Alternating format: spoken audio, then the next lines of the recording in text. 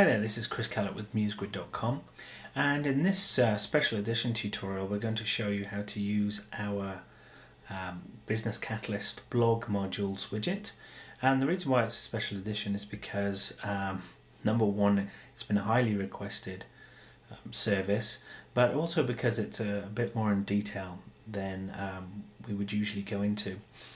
Now Business Catalyst, if you've never come across it, is an Adobe product and it allows you to have amazing functionality on your website.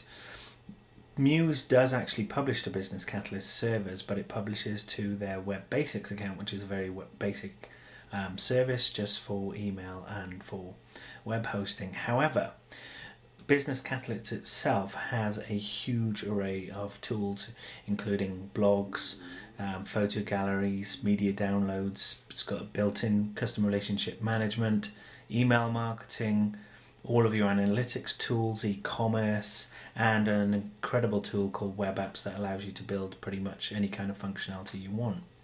So it really is uh, an amazing service. There is nothing else like Business Catalyst on the market. But we have um, a difficulty with Muse in getting content into Muse and connecting the two with that whole idea of designing without coding because Business Catalyst does require some coding. So at MuseGrid, because we are both Muse experts, but primarily we were we are Business Catalyst experts, we decided to set to and build some widgets that could allow you to start using some of the Business Catalyst features from Muse with um, the whole drag and drop premise. So first off, let's take a look at the pricing. Business Catalyst, you get five Business Catalyst websites for free in your Creative Cloud account, but those won't work for adding a blog or adding extra functionality. You need to have a, either the web marketing, web commerce, or enterprise um, package in order to have those tools. So starting off, the web marketing, that's what we're going to use. This has email marketing, blogging and everything else, and we're looking primarily at the blogging engine um, for the project that we're looking at today. So less than $5 a week gets you a, an extremely um, powerful hosting platform with blogging, but with a ton of other features as well.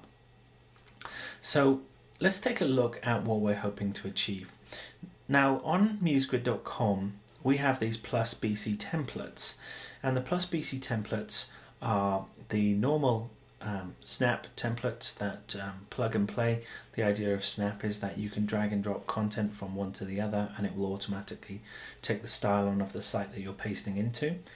Um, and we have added the blogging capability to these plus BC sites.